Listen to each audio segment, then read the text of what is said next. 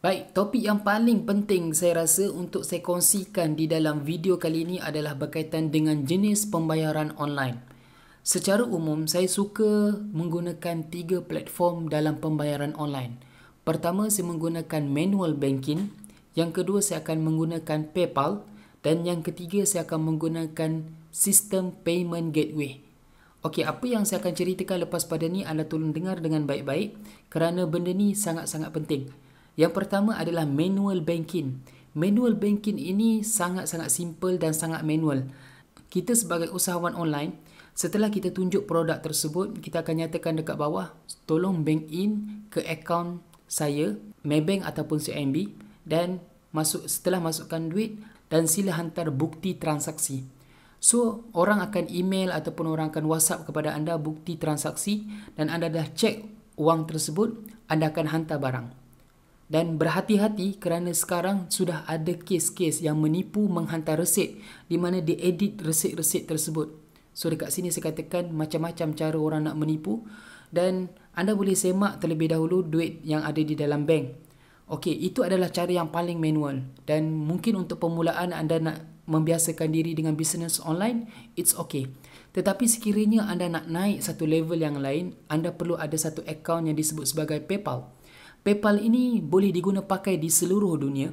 Anda boleh terima daripada Mastercard dan juga debit card. Cara untuk daftar akaun PayPal juga sangat senang.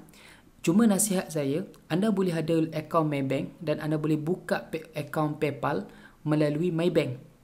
Caranya lebih mudah di mana anda boleh tanya di Maybank, anda pergi kepada Maybank dan anda tanya bagaimana saya nak buka akaun PayPal. Kerana saya takut-takut ada update yang terkini. Sebab video yang saya buat ini adalah video pada tahun 2015. Mungkin waktu anda tengok video ini, benda tu dah diupdate. Cuma secara peribadi, saya lebih suka menggunakan RHB Bank untuk PayPal.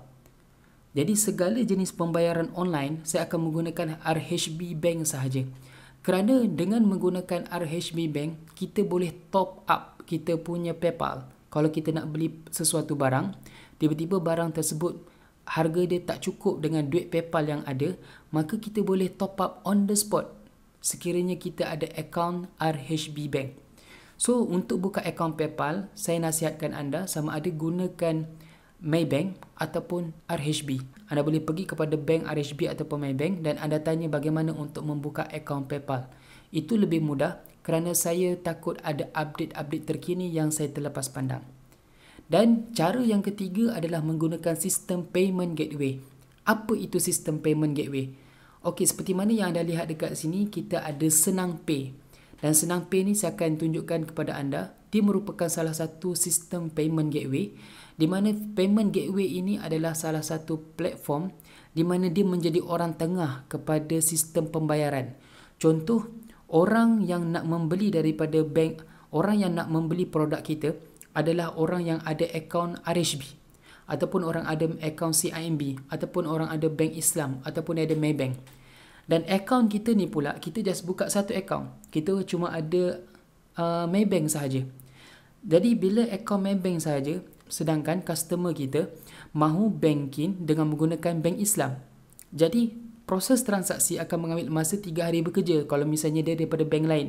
Dan di situlah berperanannya sistem payment gateway ini di mana dia menjadi orang tengah iaitu dia boleh menerima semua jenis bank masuk kepada dia dan dia akan salurkan duit itu ke dalam akaun bank kita. Okey, antara yang famous payment gateway dekat Malaysia ni adalah seperti MallPay, Pay88 dan yang terkini saya lebih suka gunakan Senang Pay dan nanti saya akan bagi tahu kenapa saya suka guna Senang Pay. Dan dekat sinilah sangat mudah kerana bila kita ada sistem payment gateway, kita dah tak perlu risau sama ada duit tersebut masuk ataupun tidak kerana semua transaksi direkod dan benda ini adalah syarikat yang berdaftar dan secara sah untuk menguruskan keuangan kita. Dan bila kita guna sistem payment gateway, tidak ada lagi masalah kita nak semak betul ke tak duit masuk. Kita just accept saja dan kita akan tengok order okey, order masuk dan terus kita hantar produk. Sangat-sangat mudah. Cuma dia akan ada kenakan bayaran sedikit 3% ataupun beberapa ringgit untuk setiap transaksi. Itu sahaja kelemahan kalau ada payment gateway. Tetapi setidak-tidaknya dia telah memudahkan kerja kita berbanding daripada kita kena tengok setiap kali orang bank in nak tengok nak check bank kan benda tu sedikit rumit. So anda boleh pilih yang mana yang sesuai. That's why saya kata kalau misalnya anda nak next level, anda boleh ambil sistem online payment yang jenis payment gateway ataupun anda boleh pakai sistem PayPal.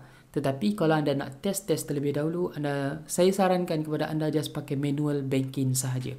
Okey? So itu adalah perkongsian yang sangat penting pada saya dan sekiranya anda tidak faham berkaitan dengan ini, insya-Allah kita akan bincang lagi di dalam grup yang saya bina iaitu dalam grup webdesignmalaya.com.